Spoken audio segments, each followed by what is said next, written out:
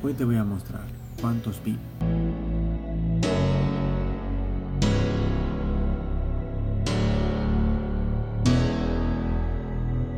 Vamos a proceder a conectarlo.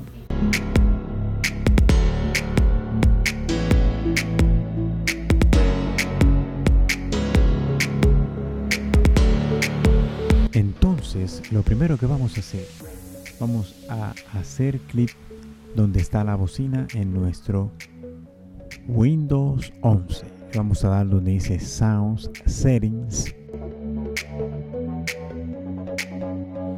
Luego que hagamos clic en Sound Settings, tenemos que tener en cuenta qué tipo de dispositivo vamos a utilizar.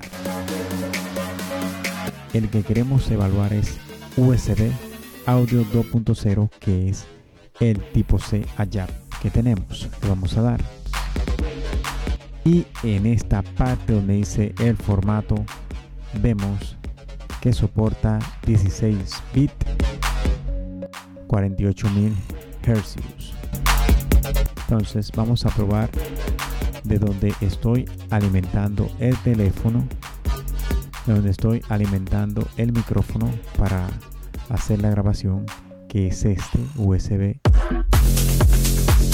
le damos y vemos que tiene una de 16 con 48 también. Y si evaluamos eh, mis puertos mi puerto JAP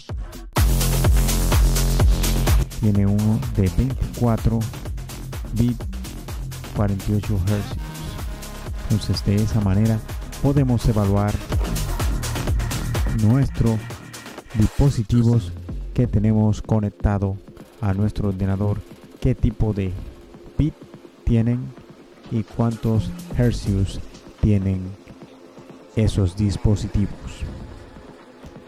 Es cuanto a este video. Muchísimas gracias.